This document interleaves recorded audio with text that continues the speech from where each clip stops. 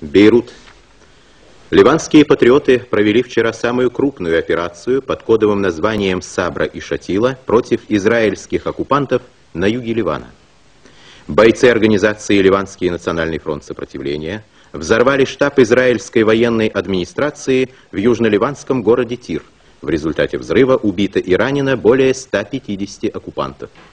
Сразу после взрыва подразделения израильских карателей – приступили к прочесыванию городских кварталов Тира. В израильских оккупационных войсках в Ливане объявлено состояние повышенной боевой готовности. В Израиле прошло экстренное заседание правительства. Вашингтон. Президент Рейган объявил, что он снова посылает на Ближний Восток своего эмиссара Филиппа Хабиба.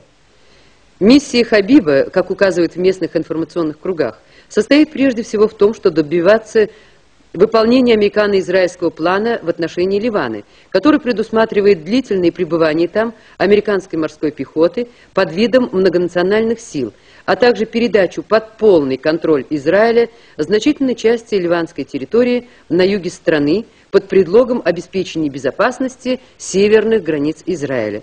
Выступая на пресс-конференции, президент Рейган исключил любое сокращение